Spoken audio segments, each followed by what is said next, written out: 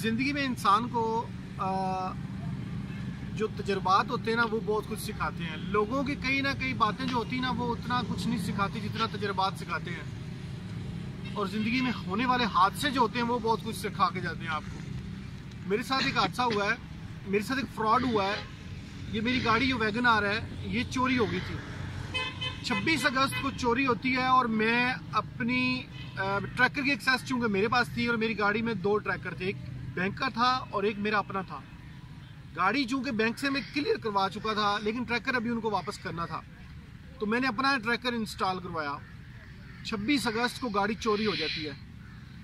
आठ बजे रात को गाड़ी चोरी होती है और मैं यहाँ पर एक पॉजिटिव साइन दूँगा पंजाब पुलिस का कि मैंने पुलिस ने बड़ी क्विक कार्रवाई की और गाड़ी जो है बदामी बाग लाहौर से हमने तकरीबन चार से पाँच घंटों में जो है ना वो रिकवर कर ली। यानी साढ़े बारह बजे रात की गाड़ी हमने रिकवर कर ली।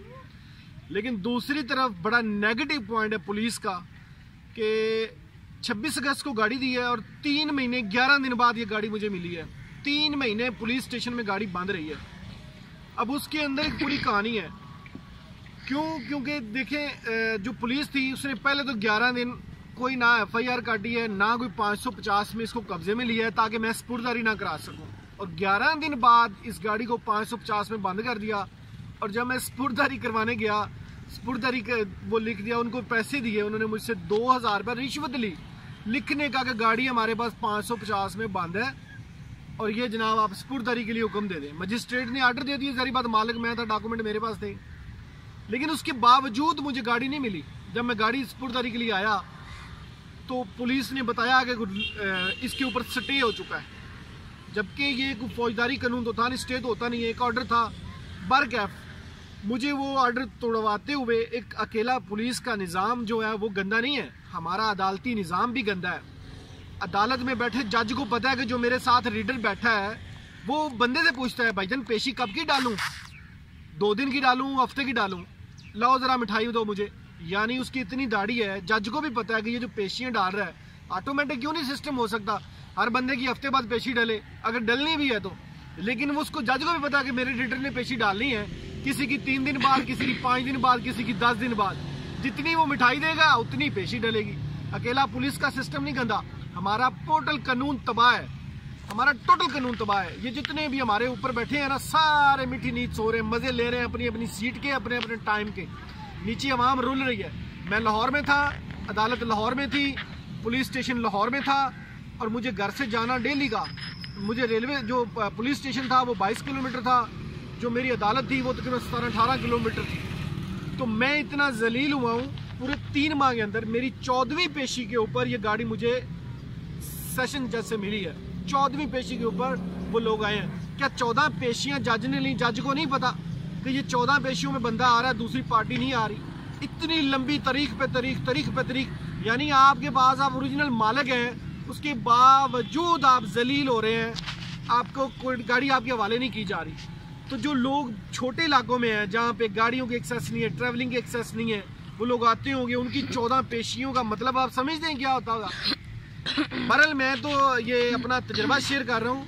खासकर अगर ये मेरी वीडियो किसी जज के पास पहुँचती है, या किसी भी कंसर्न बंदे के पास पहुँचती है, या पुलिस के किसी सीनियर बंदे के पास पहुँचती है, जैसे सी सी पी ओ लाहौर है या आई जी पंजाब है तो खुदारा, रहम करें आवाम पर।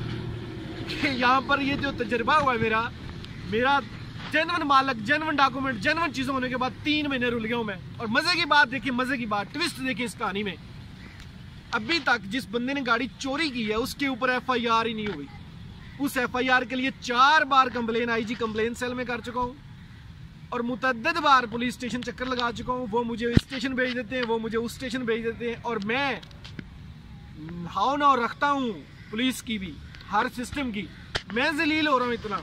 आम बंदा तो रुल रहा है। आम बंदा रुल गया तो मेरी ये गुजारिश है उन लोगों से कि अपने नशे जो है ना, ये जॉब के, ये नौकरियों के, ये टाइम पीरियड के छोड़ दें यार, थोड़ा सा नीचे भी देख लें तो थोड़ा सा नीचे भी ख्याल कर दें ये लोग जो जज के खड़ा बार आवाज़ मारने वाला, वो भी मिठाई माँगता है। वो जो जज का रीडर बैठा है, वो भी मिठाई माँगता है। वो जज का फिर ऑर्डर देने वाला, वो भी मिठाई माँगता है। फ़ोटो कापी कराने वाला, वो भी मिठाई माँगता है। फिर जनाब नैब कोर्ट मिठाई माँगता है, जज का रीडर माँगता है। जगह जगह पे फिर तीन माह, ग्यारह दिन बाद मिठाइयाँ देने के बाद बारी मिठाइयाँ देने के बाद फिर पुलिस स्टेशन पहुँचाऊँ। पाँच हज़ार पुलिस इन्वेस्टिगेशन ऑफिसर ने रिश्वत ली है। लाओ जी, मिठाई मैंने एस एच ओ को देनी है। फिर हज़ार रुपया मुंशी ने लिखने का लिया है, वरना वो कभी यूँ बिरयानी खाने जा रहा है, कभी यूँ जा रहा है। फिर उसको हज़ार रुपया दिया, पाँच सौ उसने कहा, ये कोई फ़ीस है? हज़ार रुपया दे। हज़ार रुपया उसको फ़ीस दिए जनाब। फिर गेट से गाड़ी बाहर निकालनी है तो गेट वाला कह रहा है, जी, हज़ार का बड़ा नोट दे दो मैनू। भी किस बात का तुम तनखा नहीं लेते हो? फिर उसकी मिनते करके दो सौ रुपया उसको दिया, फिर गाड़ी बाहर निकाली। वो वो एक अलग स्टोरी है कि मेरी गाड़ी की क्या हालत थी? मेरी गाड़ी के चारों टायर चेंज थे।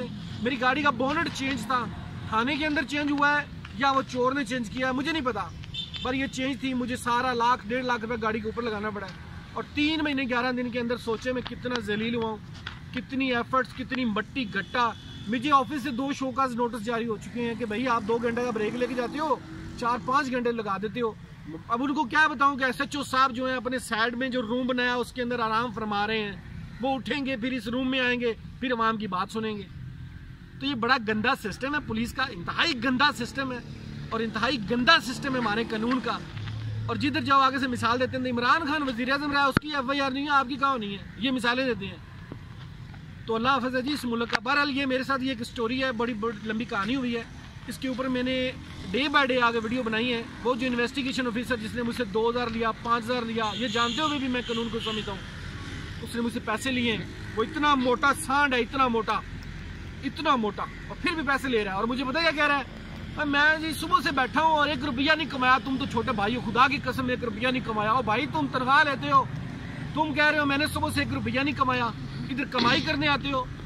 तो इसका नहीं पता आपने पंजाब के अंदर एस एच ओ पढ़े लिखे बच्चे बच्चे लगा दिए, इन इन्वेस्टिगेशन बोटी भैंसों को भी निकाल के बाहर फेंके।